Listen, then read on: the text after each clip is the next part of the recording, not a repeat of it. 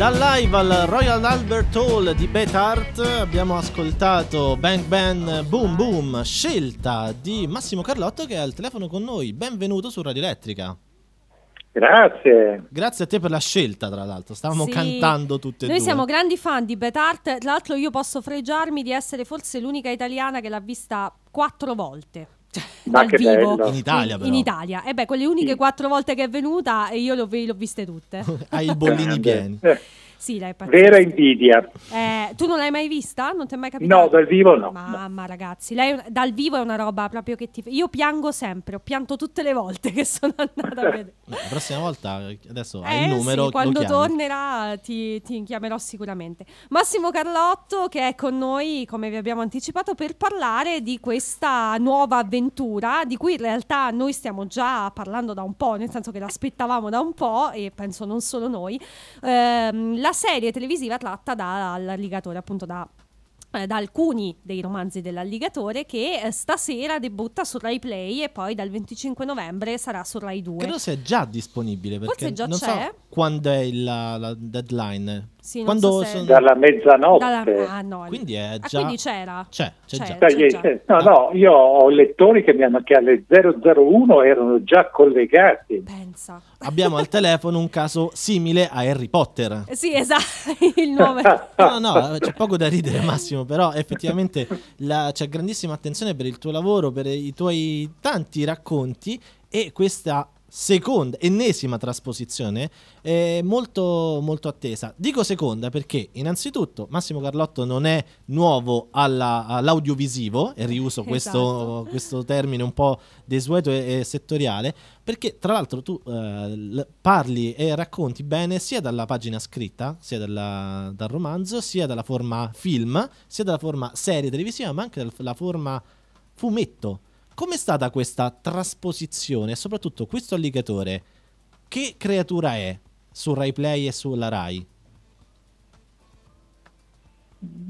Allora, devo dire che eh, l'alligatore, eh, ma come tutti gli altri personaggi, sono molto fedeli al- allo spirito dei romanzi, sono molto molto fedeli. E gli attori hanno proprio lavorato in questa direzione, mirabilmente guidati da Vicario Scariggi, perché era esattamente questo il progetto, mentre sui casi di puntata l'attenzione è stata diversa, proprio rispetto ai personaggi e agli ambienti è stato veramente, c'è stata una cura incredibile. E quindi in realtà è molto più fedele ai romanzi di quanto ci si poteva aspettare da questo punto di vista. Meno giustamente sulla, sulla struttura di puntata, sui casi. Mhm. Il giallo è, ha meno passaggi, Mhm. ma questo non è la cosa importante della serie. Certo, perché poi ovviamente il, il formato televisivo non è, non è il libro e quindi eh, diciamo che non, non si può neanche troppo forse eh, indugiare in passaggi di trama più complessi, eh, correggimi se sbaglio, quando, quando poi si, si traspone. Esattamente, eh, su questo sono molto d'accordo, però ehm, qui eh, non abbiamo voluto giocare eh, su, su un inseguimento televisivo dei romanzi. Mhm. È stata molto diversa l'operazione, infatti io sono molto curioso di vedere come la prenderanno i lettori che sono preoccupatissimi, preoccupatissimi per, per come saranno i personaggi, per- eh, perché sai, l'immaginario del lettore è una cosa molto seria e complessa. Mm-mm. Quando poi da- passi dal romanzo alla trasposizione c'è sempre questo rischio. Invece eh, qua secondo me l'operazione è molto diversa, nel senso che mh, eh, da un lato tradisce il giallo, dall'altro invece è molto forte su- sull'ambiente, anche sulla musica, per Mhm. esempio il blues Mhm. è veramente presente. Io non ho mai visto una serie con così tanto blues come l'alligatore. Beh, perché in fondo ehm, quello che caratterizza un po' ehm, i tuoi romanzi sull'alligatore è, proprio questo, cioè non è tanto la trama, eh, che per carità è una trama forte di noir, però non è tanto quello quanto l'atmosfera che si crea attorno e il personaggio, la serialità anche diciamo letteraria ha questo, ha questo diciamo pro che a volte è anche un contro, cioè l'affezione totale che poi il lettore ha per il personaggio, eh, che diventa appunto una, una specie di, di, riferimento e per questo tu dicevi sono curioso di, eh, di, sapere poi che cosa ne pensano i lettori. Eh, tu hai già avuto qualche piccolo feedback? Sì, tutti molto positivi. Ottimo. E non era facile. Eh? E nottambuli anche. Perché... e nottambuli. E nottambuli, no, non, è, non era affatto facile però un po' me l'aspettavo perché devo dire che Martari che interpreta Navigatore mm. è veramente bravo, è entrato nel personaggio come ah. anche gli altri. Trabacchi che interpreta Rossini. Ma devo dire un che grosso lavoro. Devo dire che guardando, io ho visto per ora solo i, i trailer, eh, però mi ha fatto impressione ehm, la, la, l'utilizzo della cadenza così forte, eh, che non è una cadenza, eh, diciamo, usuale, eh, perché non, almeno a me non capita spesso di sentire ehm, appunto il, il Veneto eh, ah, in una... In esatto, in televisione. Cioè, non so, a me ha fatto effetto perché innanzitutto conosco te, quindi un po' mi, eh, mi veniva facile collegare le due cose cioè sentivo te e lui che parlava, ma nella testa sentivo anche te. E poi mm. eh, avevo in testa proprio il, il, personaggio come me l'ero immaginato. E mi fa strano perché, appunto, essendo romana, non, ho, mh, mm, non sono abituata a sentire spesso questa, questo tipo di cadenza. E è, è stato un segno di autenticità, insomma, forte.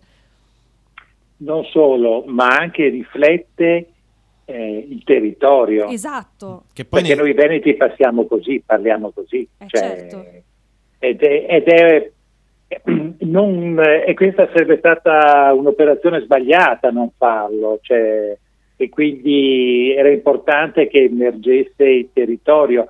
E a proposito di territorio, qui emerge un Veneto molto diverso, che non è quello da cartolina, ma è tutt'altro, sono proprio le, le paludi fangose del, dove sguazza l'alligatore. Tra l'altro un Veneto, insomma, di cui negli ultimi anni stiamo sentendo sempre più parlare per varie, eh, diciamo, motivazioni eh, anche contrastate e contrastanti anche durante questa pandemia. Insomma, il Veneto è stata una delle regioni di cui si è parlato di più per alterne vicende. Ma no? anche per prima. Cui, anche prima, sì, sicuramente. Ecco, tu, tu eh, hai, hai, interpretato da sempre una eh, visione, insomma, edulco- non, non, edulcorata del, del, Veneto, della provincia veneta eh, che però è vero che non si conosce tanto, cioè perché noi pensiamo al Veneto, pensiamo a Venezia, no, cioè non, non, abbiamo secondo me tanto il polso come succede per molte regioni italiane, perché insomma come l'Italia è talmente perdone. varia, esatto, per la provincia. E qui c'è uno sguardo diverso, c'è uno sguardo diverso con, con sempre una grande attenzione alla, alla realtà. Per esempio, dalla prima puntata, se si parla di, di questa vicenda di capannoni dove vengono stoccati rifiuti eh, illegali e incredibilmente negli ultimi 20 giorni è stata una delle notizie che ha girato di più in Veneto perché è stato scoperto un giro di capannoni dove venivano stoccati appunto rifiuti nocivi che arrivavano da altre regioni. Quindi c'è un grande sguardo sulla realtà mostrando un Veneto inedito per chi non lo conosce, fatto di canali, fatto di barene, eh, fatto di campagna, anche di case di campagna che di solito non vengono mai mostrate. Vorrei restare momentaneamente tangenzialmente sul, su quanto parlano i luoghi dei, dei, tuoi romanzi nei tuoi personaggi e ti chiedo uh, com'è stato il lavoro, il contatto con uh, lo showrunner, il regista uh, Vicari, ma anche con Scaringi, che Vicari so sicuramente che è nato nel Lazio, ma anche nel, con gli, autori, gli attori che un, due, Trabacchi è nato a Milano, Gobbi è nato a Milano, mentre il protagonista Matteo Martari è di Verona, quindi è il più eh, vicino. Okay. Se c'è stato un lavoro anche di guida oppure hai dato delle indicazioni all'inizio oppure hanno fatto tutto loro, anzi hanno lavorato eh, i tuoi romanzi per te, come hanno assimilato questa umidità della palude, questa, questa, uh, questo Veneto, questo, questo, mondo, questo luogo che poi è dentro tante, tanto racconto che mi, un po' anche nell'ambientazione mi ha ricordato un po' True Detective, la prima stagione, facendo un, un movimento piuttosto rigido tra una serie e l'altra. Com'è stato portarli nel tuo mondo? Non l'ho fatto io, nel senso che io sono stato lontano da, da questo aspetto. Io ho lavorato sui soggetti e le sceneggiature e sono andato a vedere qualche ripresa giusto come, come curioso, eh, a parte il cameo, eh, giustamente. Spoiler. C'è un cameo sì, del sottoscritto, spoiler, sì. E devo dire che è stato Vicari, Vicari e Scaringi. Scaringi l'ho conosciuto, è stato una delle prime persone che ho conosciuto, che ha lavorato moltissimo per, la, per questa serie. E Vicari è arrivato dopo, ma con una grandissima autorevolezza e tutto il lavoro rispetto ai, agli attori è stato un lavoro lungo, addirittura hanno affittato un teatro per poter eh, leggere i copioni, hanno fatto un grossissimo lavoro, molto lungo, e da questo lavoro è, sono usciti i personaggi. Eh, Martari per esempio ha recuperato una sua dimensione veneta che lui stesso dice che un po' aveva perso, l'ha recuperata, l'ha ricostruita. Trabacchi ha fatto un lavoro straordinario perché veramente assomiglia al vero Beniamino Rossini, cioè quel modo di fare malavitoso, sì. che è di malavitoso di un tempo che io non ho, ho visto raramente al cinema o in televisione. Che poi la vera essenza di un personaggio lo sa soltanto chi lo scrive. Sì, sì, eh, diciamo che eh, i suoi sono molto molto caratteristici, cioè escono molto dalla pagina i personaggi di Massimo, quindi diciamo che se si riesce a cogliere, il problema è poi rifarlo, che posso capire, insomma, deve essere stato molto complicato.